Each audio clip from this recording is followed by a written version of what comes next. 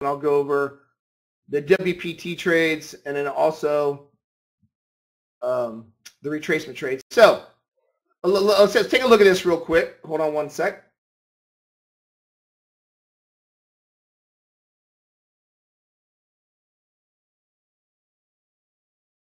All right, good morning, Thomas. So let's take a look at these. Um, there's two setups we look for. Let me just skinny this chart down. This is over a three-hour period, or I'm sorry, four-hour period, just so you can see uh, what we try to do in trend markets. Uh, so we have these, these yellow dots are our ATR. So that's our ATR. So what it does, it looks at the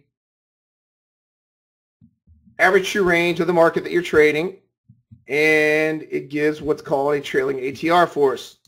So we have an indicator and a strategy that will run this ATR. And the indicator and the strategy um, can be run separately or together. So you can print this. So that's our ATR. So we don't want to start looking for trades until, according to this method, until the yellow dot starts printing. Once the yellow dot starts printing, then we have a running ATR. You're going to start seeing these dots print under price. As long as price stays above this ATR, then the dots will continue to print consecutively one after each other. The moment it closes one close below your ATR that you put in, and um, the setting I have in here for the ATR for you guys is 20. Uh, you can go 18 to 20. 18, you're not going to get these WPTs. 20, you'll catch them. If you want a tighter stop, uh, you can run it as low as 18. I wouldn't go below 18.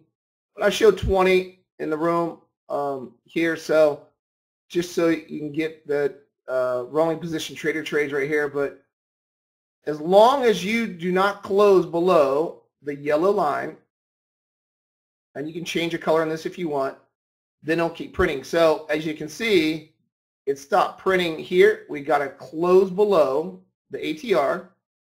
So you no longer have dots of print.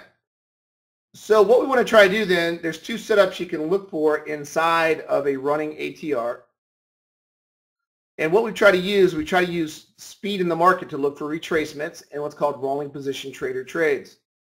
So if you look at the bright green boxes, those are speed bars, and the bright red boxes that close with price, those are called speed bars. So what we're trying to do, we're trying to see when there's a volume spike in the market, or there's big speed in the market that comes. So those are speed boxes. Once we see the speed boxes print, you have two opportunities to look for a setup. The first setup you're going to look for is what's called a retracement trade. So right when this first speed box came in, all right, you see the arrows start, I mean the dots start printing. There's your first speed box. Once you start seeing the first speed box come in, you can look straight down at your retracement indicator down here. Here's our retracement indicator. Look for a full retracement, getting above 90 or below 10%. Now you can adjust on the strategy to be higher or lower than that if you want. I showed 90 in the room and 10. So that's our full retracement. So once you get running ATR, you get a volume spike or speed in the market when this closes green. Then we're going to look for a full retracement below to get below 10%. Once below there, our symmetry indicator, I mean our sim um, Renko already has market delta built in. You look for a positive market delta or a green reversal bar. So that would be your entry. All right. I do provide the triangles that come up occasionally. They're more of a deeper retracement. This is an 8 that I use on the bottom of the chart for a retracement indicator. I use 20 on the strategy or the indicator I'm showing. So when you see these arrows fire, the same thing is happening is that this is looking for a full retracement inside of a running ATR. You can see below. That's an entry. Here, full it below. But you can do additional setups. So what I'm doing on the new update for the strategy, it's called add-on trades. And what add-on trades is a toggle switch. And what it will do, if you want if you want additional trades, so these are entries right here. That's an entry. These are all entries off of a pullback after speed. But what you can do if you want more setups, and this will let the strategy do this independently of each other, then what it will do, it will take along here, or show an arrow to an indicator, it will show it here, it will show it here, it will show it here. So you get triangles here too, full retracement here, we'll show it here. So if you want more setups, you just hit the toggle switch on on the indicator strategy, you're going to get more setups here all the way up. The whole idea behind this is, is that inside of a running ATR, you have multiple opportunities to get long, not just deep pullbacks. So you can see, you can, on the strategy, what you can do is you can max out the number of contracts. How I'm making this, you can max out the number of contracts when you're inside the running ATR. So let's say you get long on this first, um, first one here, and you have add-on contracts. This one will work independently of each other, and you can max out the number of contracts you do. So this is one contract will sell at the first target, and it won't sell until all the way up here on your second target. Well, if you have add-on trades, this is another trade setup. This is a WPT trade, and it is a red speed box. So this is the second trade you look for. Retracement trades are always with trend. Green box, if dots are printing below, you look for retracement trades.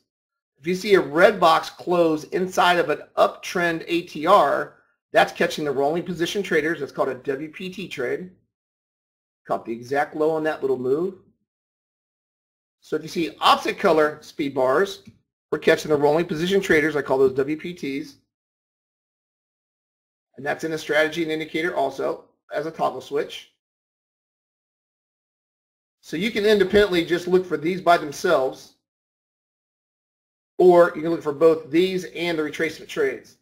But let's say that you, so you got long two contracts here, you got one off, it retraces. If you, if you click on the add-on trades, it will go long another two contracts here, and then first target off, and it won't sell to up here. Then it'll add another two contracts here, and then it will sell, and then it'll sell here. So you can do multiple contracts. And I put it up the limit is unlimited to the number of contracts that you can do. The whole idea behind this is when we're getting a running ATR and it's a hot market, you can successfully try to capture the big portion of the move with only not only doing two contracts of the whole move, but two, four, six, eight, 10, 12, 14, 16, so on, all the way up. What happens is the ATR then becomes your new stop. So you can do multiple contracts. Now, how you can do this uh, effectively is using the micros, the S&P micros, because the margins are obviously a lot better, and you're 10 to 1 or 1 one tenth I'm sorry of the of the uh, regular S&P move. So you can do multiple contracts on the micros on the way up. So that will be an option called add-on. That's my last finished touch I'm doing on the uh, update for you guys on the strategy that's something you can do. And then I'll be wrapping this thing up and get it to Gerald and sending this out to you.